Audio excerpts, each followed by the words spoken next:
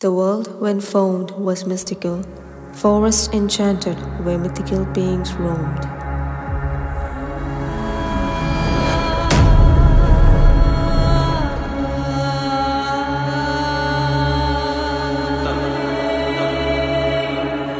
As in any era, then too was good and evil.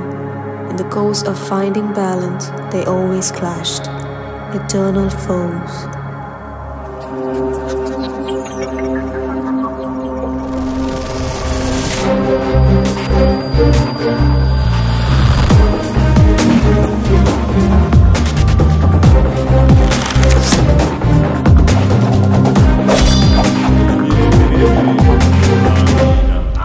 The light against darkness, kindness against hatred.